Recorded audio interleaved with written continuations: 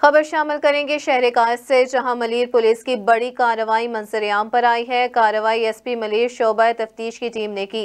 कार्रवाई के दौरान चार खतरनाक टिकेत गैंग गिरफ़्तार कर लिए गए। गिरफ़्तार मुलजमान ने दौरान टिकेती शहरी को कत्ल करने का भी एतराफ़ किया है। इस हवाले से रिपोर्ट करेंगे अली बलेरी।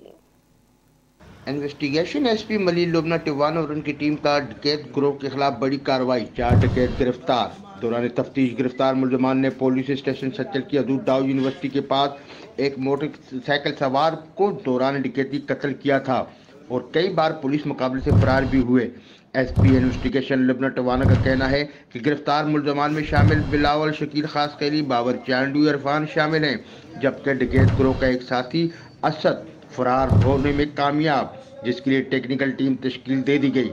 एसआईओ थाना शाह लतीफ़ अरशद अवान का कहना था कि बहुत जल्द फरार डकैत को भी कानून के शिकंजे में लाएँगे।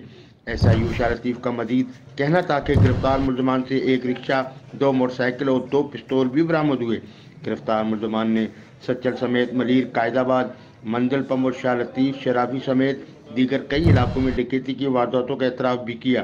तफ्तीशी टीम के साथ अली बलेरी, वॉइस न्यूज़, कराची।